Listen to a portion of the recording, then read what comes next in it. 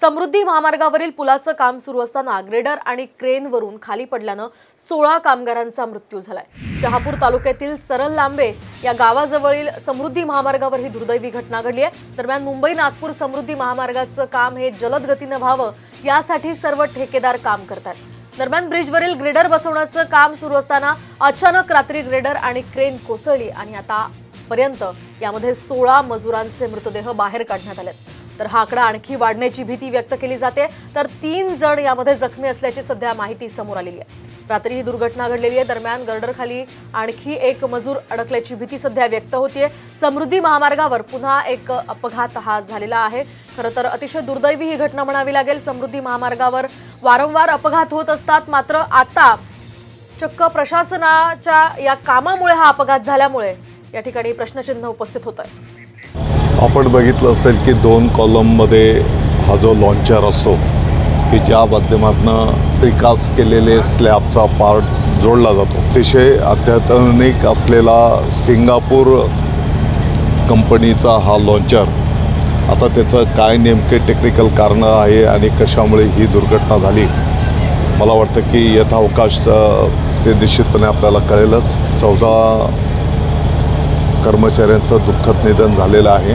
कदाचित अजूनही एक तीन चार कर्मचारी अडकल्याची भीती त्या ठिकाणी आहे. अतिशय युद्ध पातळीवर त्याचं कटिंग करणं आणि त्यांचा शोध घेण्याचं काम प्रगतीपथावर आहे.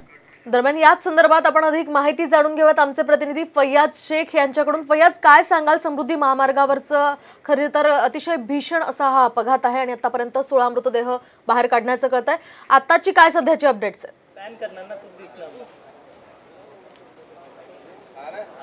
नक्कीच ह्या समृद्धी महामार्गावरती खूप दुर्दैवी अशी घटना घडलेली आहे. रात्री साडे अकराच्या दरम्यान गडर बसवणारे जो ब्रिज ह्या हा कोसळला गेलेला आहे. यामध्ये एकूण सोळा लोकांचा मृत्यू झालेला आहे. तर तीन जण जखमी झालेले आहेत. त्यापैकी आत्तापर्यंत एकूण सतरा कामगार या ठिकाणी काम करत होते आणि नऊ हे इंजिनियर होते. या एकूण सव्वीसपैकी आत्तापर्यंत स- सोळा जणांचा मृत्यू झालेला आहे. तीन जणांना रुग्णालयात दाखल करण्यात आलेला आहे. तर एक हा किरकोळ जखमी असून एकूण वीस जण जणांचा ह्या ठिकाणी तपास लागलेला आणखीन सहा जणं या मलब्याखाली अडकलेले असल्याची भीती व्यक्त केली जाते. एन डी आर एफच्या जवानांकडून शोध मोहीम सुरू आहे आणि ही शोध मोहीम आणखीन सहा जणांचा जोपर्यंत शोध लागत नाही तोपर्यंत ही शोध मोहीम सुरू राहणार आहे.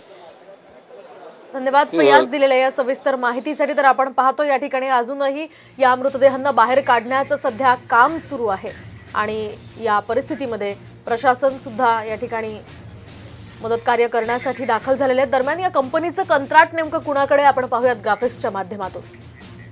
तर नवयुग इंजिनिअरिंग कंपनीकडे हे कंत्राट आहे. कंपनीकडे नव्वदहून अधिक गर्डर लॉन्चिंगचा अनुभव आतापर्यंतचा आहे.